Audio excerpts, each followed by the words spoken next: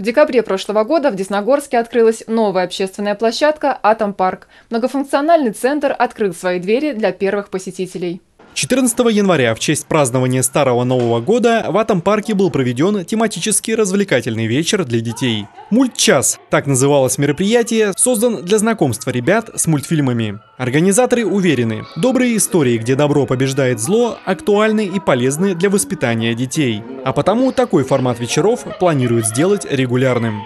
Мультчас в себя будет э, включать немножечко истории о мультфильмах, а, немного конкурсов, до и будем планировать, наверное, после хотя бы несколько конкурсов, чтобы дети уходили с хорошим настроением, а, хотели сюда приходить, рассказывали друзьям и, конечно же, как можно больше здесь было посетителей. Первым дети увидели советский мультфильм «12 месяцев». Также они приняли участие в конкурсах и играх, которые для них провели организаторы мероприятия.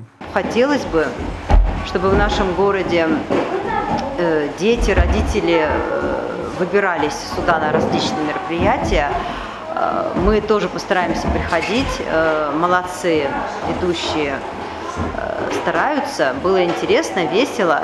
Развлекательные и образовательные вечера проходят в этом парке с начала года. Афиша предстоящих событий доступна в официальной группе администрации Десногорска в социальной сети ВКонтакте. Виталий Волков, Юлия Соболева, Александр Ерофеев, Деснатовая.